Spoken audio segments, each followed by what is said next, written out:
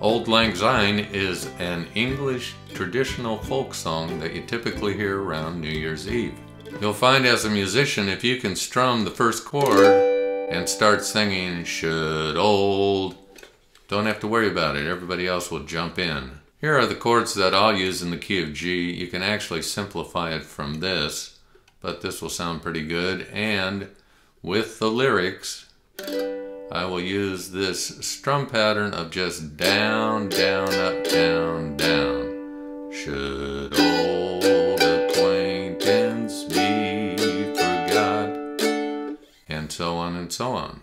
We'll give you a complete play along track here in a second, but for the moment, I'll just let you know that I'm going to use real simple chords and simple, I mean simple fingerings, and here are the chords that you would need.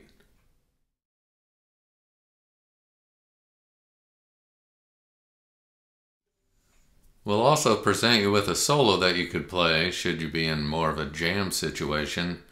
And the version I came up with is what you call chord melody style, where I'll, I'll, play a couple of harmony notes to go along with the melody. So a little bit of that would sound like this.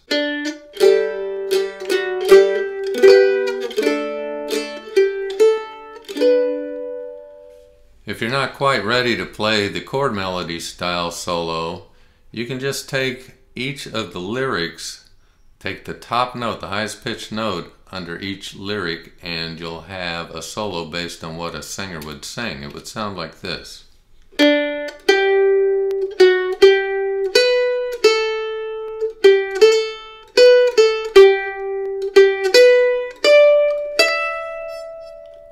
So just keep that in mind that you got a whole nother way to play the solo.